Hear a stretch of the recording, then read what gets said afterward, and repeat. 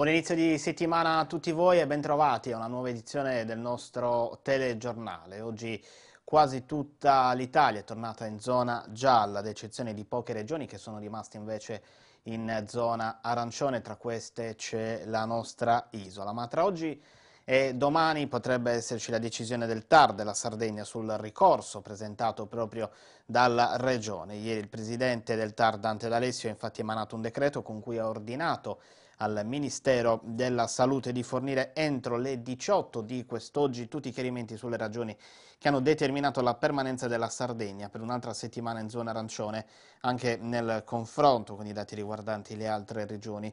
Sulla base dei numeri e dati forniti, il TAR della Sardegna dunque prenderà una decisione. Vedremo chi la spunterà con la regione che nel corso ha puntato sul cambio dei criteri di classificazione venuto a cavallo della metà del mese di gennaio e l'impossibilità per le regioni di adeguarsi a nuovi parametri e la revisione periodica dei requisiti. Ministero e Istituto Superiore di Sanità che invece hanno segnalato la comunicazione dei dati fatta fuori tempo massimo dalla Regione. Vedremo nelle prossime ore quali saranno i risvolti con soprattutto il settore della ristorazione che spera che la Sardegna torni in zona gialla questa settimana che dunque non debba aspettare ancora un'altra settimana, dunque il 7 febbraio, o meglio lunedì 8 febbraio. E come sempre vediamo anche i dati dell'ultimo bollettino che ha fatto segnare un calo dei casi di positività, ieri 167, ma anche dei tamponi eseguiti che sono stati 2203, tasso di positività che è salito al 7,5%,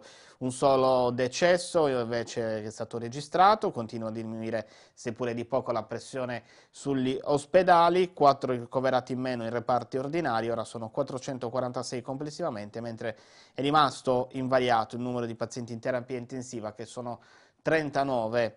Al contrario sale leggermente il numero delle persone in isolamento domiciliare, 15.495 più 139 i guariti, oltre a 341 persone dichiarate guarite clinicamente. E oggi è stata una giornata, o meglio è una giornata importante, il primo febbraio, la data che segna il ritorno a scuola per gli studenti sardi e non solo sardi, degli istituti superiori. Come è noto non saranno tutti in classe, ma solo il 50% al momento. In ogni caso quello odierno rappresenta un ritorno atteso che si spera possa riguardare presto la totalità degli studenti. Sono circa 37.000 in Sardegna coloro che hanno potuto rivarcare la soglia della propria scuola. Si parla di turnazione che varierà da istituto in istituto in base a parametri ed esigenze. Si tratta comunque di una data da ricordare per l'istruzione dopo mesi, mesi, di didattica a distanza, uno strumento utile in casi come questi ma che a lungo non è sicuramente migliore, fare, eh, migliore del fare scuola in presenza. Anche ad Alghero, come in tutta l'isola, questa mattina gli studenti sono ritornati tra i banchi e proprio in occasione del ritorno in classe, al fine di prevenire eventuali situazioni di criticità dettate dal verificarsi di possibili assembramenti, la locale protezione civile, sotto il coordinamento della Direzione Generale Regionale, ha registrato la disponibilità di diverse associazioni che offriranno il proprio supporto negli orari di ingresso ed uscita delle scuole per garantire attività di informazione, distanziamento e assistenza con riguardo alle misure di sicurezza tese a prevenire e fronteggiare l'emergenza epidemiologica in atto. Alle associazioni Misericordia Alghero, Polisoccorso Alghero, Protezione Civile Olmedo è andato il ringraziamento dell'assessore Andrea Montis per le operazioni che andranno a compiere proprio in questi giorni sull'informazione in merito alla sicurezza eh, sanitaria. In occasione del rientro a scuola noi siamo andati in uno degli istituti superiori algheresi, il liceo scientifico Enrico Fermi, abbiamo intervistato il dirigente scolastico Mario Peretto. Significativa questa immagine del dirigente scolastico alla porta di uno degli istituti algheresi, stiamo parlando dello scientifico Fermi. Oggi era il giorno del ritorno a scuola per il 50% degli studenti sardi, quindi in presenza. Eh, Come è andata? È andata molto bene, noi come tutte le altre scuole di Alghero abbiamo optato per far rientrare il 50% degli studenti, anche se inizialmente pensavamo di farli rientrare in percentuali maggiori, però per i mezzi di trasporto che ancora non sono tutti ben allineati abbiamo preferito andare sul 50%. I ragazzi come sempre sono la cosa migliore che abbiamo, eh, a scuola sono sicuri, come entrano dal, dal, cancello rispettano le regole, si muovono in maniera assolutamente coordinata e corretta, quindi speriamo bene, speriamo che sia una riapertura per arrivare al 100% di presenza e dobbiamo stare attenti non solo a scuola ma anche all'esterno. Come cronisti noi testimoniamo ovviamente quello che vediamo, siamo arrivati qui, abbiamo visto i sorrisi di questi ragazzi che si sono ritrovati, sorrisi ovviamente non dovuti alle labbra perché non le potevamo vedere, erano tutti con le mascherine ma sorridevano con gli occhi, erano contenti. Sì, per tutti, ma anche per gli insegnanti, sembra di vivere quasi un sogno, un, un rientro dopo uh, questo, questi periodi, il periodo dell'anno scorso, il, il periodo, questi mesi eh, di quest'anno scolastico. Ripeto, la scuola è importante, è importante per il confronto, è importante per la condivisione, è importante per, per vederci. È vero che la salute è fondamentale perché se non c'è la salute tutto il resto viene meno però dobbiamo stare attenti e fare in modo che l'obiettivo della scuola venga raggiunto e si possa arrivare al 100% in presenza. Quindi in conclusione ottima la DAD fatta bene ma la presenza è insostituibile. Assolutamente sì, è vero che eh, siamo riusciti a ottenere molti risultati con la DAD, io non eh, darei addosso a questo, sistema che ci ha consentito di fare scuola nello stesso, nello stesso modo, ma la presenza fa, fa la differenza. E poi la DAD per brevi periodi ha un bel valore, per periodi così lunghi viene un po' meno. Io ieri ho fatto anche una... Um, una comunicazione condivisa con, con, lo staff, ai genitori e ai docenti per dire che si deve rientrare con tranquillità, adesso le verifiche devono essere delle verifiche fatte per andare a vedere cosa si è appreso, i risultati di questa didattica a distanza e non come verifiche per, eh, per, per valutare in, in, maniera, in maniera più, eh, più, pesante. Quindi spero che questo venga accolto da tutta la uh, popolazione scolastica e si possa davvero procedere in maniera spedita verso la conclusione di quest'anno scolastico. Sul fronte della sanità invece quest'oggi è in programma un'importante riunione tecnico-operativa dove verranno programmate azioni e interventi concreti con individuazione della tempistica. A farlo sapere, mh, mm, ovviamente riguardante la sanità algherese, a farlo sapere è stato il presidente del Consiglio regionale Michele Pais che mh, mm, sul trasferimento di diabetologia dall'ospedale Marino ai locali di via Manzoni, che ha provocato diverse lamentele, sottolinea come sia stato concordato dai responsabili sanitari per via delle norme anti-Covid che hanno sconsigliato la promiscuità di tale servizio con quello ospedaliero proprio per non esporre a rischio i pazienti diabetici. Oggi i nodi della tavica mancata programmazione vengono al pettine e si devono sciogliere, ha rimarcato Pais. Rimango costantemente in strettissimo contatto con la direzione del distretto con la dottoressa Porcu, dirigente medico di abetologia che molto si sta prodigando per il miglior servizio.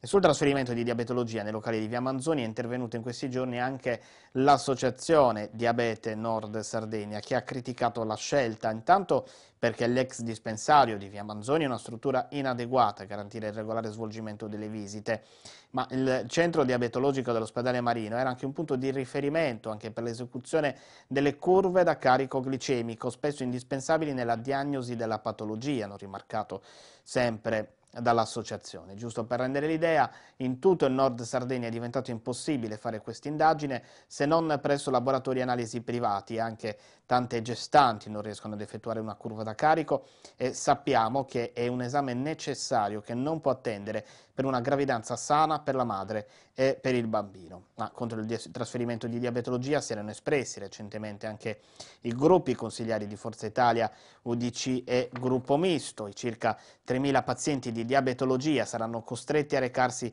presso la struttura di Via Manzoni che desta qualche preoccupazione per l'idoneità ad accogliere pazienti ad alto rischio Covid Covid avevano sottolineato in una nota. I gruppi consigliari che sono reintervenuti eh, proprio eh, quest'oggi, a maggior ragione dopo le parole del Presidente del Consiglio regionale. Ringraziamo il Presidente del Consiglio regionale Michele Pais che avvalora la fondatezza delle nostre preoccupazioni relative al trasferimento di diabetologia, ma occorre un impegno ulteriore. I gruppi consigliari di Forza Italia, UDC e Misto intervengono a commento delle dichiarazioni della rete Sarda Diabete e dello stesso onorevole Pais che ritorna sul tema del trasferimento di diabetologia dal Marino presso i locali di Via Manzoni che i gruppi consigliari di Forza Italia, UDC e Gruppo Misto lo scorso dicembre avevano definito inappropriati chiedendo un ripensamento e oggi questa scarsa appropriatezza viene ribadita dalla rete sarda diabete e dal Presidente del Consiglio regionale.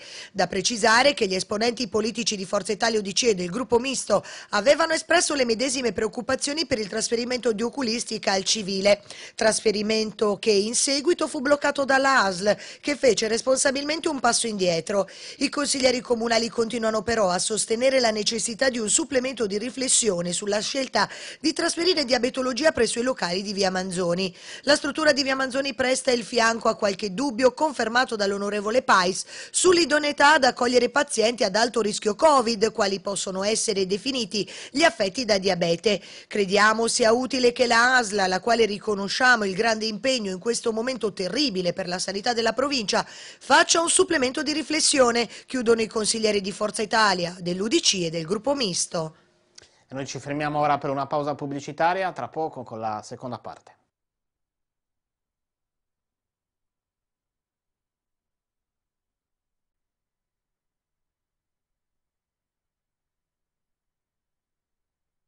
Ci scusiamo per l'ulteriore rinvio al 4 febbraio e garantiamo la massima trasparenza della procedura dell'avviso a Sportello per la concessione di un'indennità una tantum a favore degli operatori della filiera turistica del commercio e ci assumiamo la responsabilità del differimento dell'apertura del bando. Lo ha detto l'assessore regionale del lavoro Alessandra Zedda durante una videoconferenza stampa sul bando. Il rinvio, ha spiegato l'esponente dell'esecutivo Solinas, è dovuto ad un problema di natura tecnica in corso di risoluzione.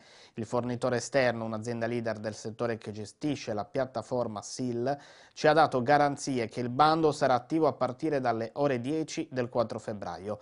Nessun favoritismo, ha assicurato la Zedda, il bando non è stato modificato per favorire qualche categoria, ma il frutto di un confronto con i professionisti professionisti e le associazioni di categoria che hanno chiesto una maggiore semplificazione. Nessun'altra regione in Italia, ha affermato l'assessore del lavoro, ha messo in campo tante risorse per il sostegno alle imprese. A fronte dei sette avvisi ordinari, quest'anno i bandi sono stati 20, per un totale di 281 milioni di euro. In questa emergenza Covid, ha aggiunto la Zedda, la Giunta Solinas non lascerà nessun lavoratore al suo destino. L'Unione Europea per il 2021 ci permette di ampliare il regime di aiuto alle imprese, come già accaduto per altri bandi. Se le risorse non basteranno ci sarà la possibilità di potenziare le risorse e soddisfare altre richieste. Ha poi concluso l'assessore regionale al lavoro. E ora parliamo invece dei lavori per la realizzazione della rete del gas che sono arrivati a circa il 75% del totale. Il primo importante traguardo del processo di ammodernamento infrastrutturale della città che sta comportando inevitabili e fisiologici disagi alla viabilità è stato già raggiunto con l'avvio della distribuzione del metano nel quartiere della Pietraia Lido. Il via alla prima parte della fornitura prevede che dalla stazione di stoccaggio di Ungias Galantè dove è posizionato il carro cisterna il metano possa arrivare inizialmente nelle nelle case corrispondenti agli allacci della zona, ma possa anche servire una più ampia utenza una volta ultimati i lavori. Gli scavi stanno ora per interessare dalla, questa settimana la via Leonardo da Vinci, nel tratto compreso tra via 20 settembre e via Montedoglia. Conseguentemente verrà istituito il divieto di transito e sosta integrato dalla zona rimozione della fascia oraria 024. Alghero è attualmente la prima città in Sardegna a utilizzare il metano, la cui realizzazione è sostenuta da un investimento di 15,7 milioni di euro, un investimento fondamentale per Alghero che porterà inevitabili vantaggi per la qualità della vita, per l'economia e per le famiglie che potranno approvvigionarsi di energia pulita a basso costo, sottolinea il sindaco Conoci, ai disagi che sta creando, ma ancora per poco la realizzazione dell'infrastruttura si sostituiranno i tanti aspetti positivi dell'opera. La previsione dei lavori prevede l'allestimento di altri due punti di stoccaggio del metano da dislocarsi in altrettante zone periferiche dalle quali il combustibile si diramerà per coprire l'intera rete. E restando in tema di lavori in città, domani è mercoledì, quindi 2-3 febbraio, la via Vittorio Emanuele sarà chiusa al traffico veicolare nel tratto compreso tra la via Cravagliette e la via Satta. La chiusura avverrà dalle 7 alle 18 e comunque fino alla conclusione dei lavori previsti, cioè quelli della realizzazione al laccio di una condotta idrica, uno stabile in via di realizzazione. Per tutta la durata dell'intervento il traffico veicolare su via Vittorio Emanuele verrà deviato su via Cravalet in arrivo e in via Satta in uscita. Parliamo però anche di strutture sportive cittadine, in particolare della pista di atletica di Maria Pia, per la quale sono stati affidati lavori di riqualificazione e messa a norma. Il procedimento è giunto in questi giorni alla fase della formalizzazione dell'esito della gara espletata dal settore opere pubbliche.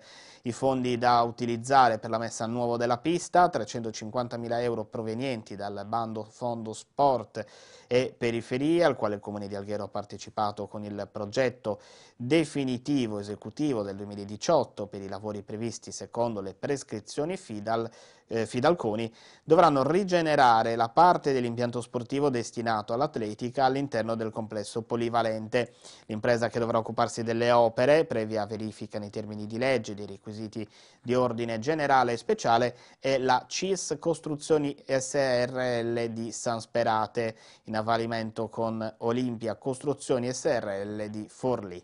L'impianto comunale di Maria Pia, attualmente affidato in gestione, sarà quindi interessato da ulteriori interventi per la riqualificazione e ammodernamento più che mai necessari. Sul solco del programma di rigenerazione dei campi sportivi e per il tempo libero il programma dell'amministrazione procede con ulteriori tappe e di questi giorni la definizione di due procedure che riguardano altrettanti impianti messi a bando, il campo da baseball di Maria Pia e l'impianto del tennis di via Tarragona. Per quest'ultimo si tratterebbe di un'importante svolta per la gestione del centro sportivo che comprende tennis e calcetto che andrebbe a integrarsi con la rinnovata gestione integrata del limitrofo Parco Tarragona, affidato anch'esso in questi giorni dal settore demanio e patrimonio. Speriamo non ci si dimentichi però anche dello stadio Mariotti.